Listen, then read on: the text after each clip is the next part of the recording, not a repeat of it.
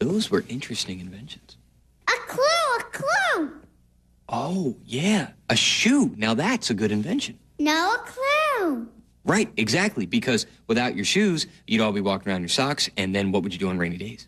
Right there on the chair. A clue? On the thinking chair? Really? There is a clue right here on the thinking chair. you know what we need? Our handy dandy. Notebook, which is also a clue. Fancy that. First, we draw an arc and then two swirls for the arms of the chair, a curved line for the legs, and some horizontal lines for the seat. There, the thinking chair.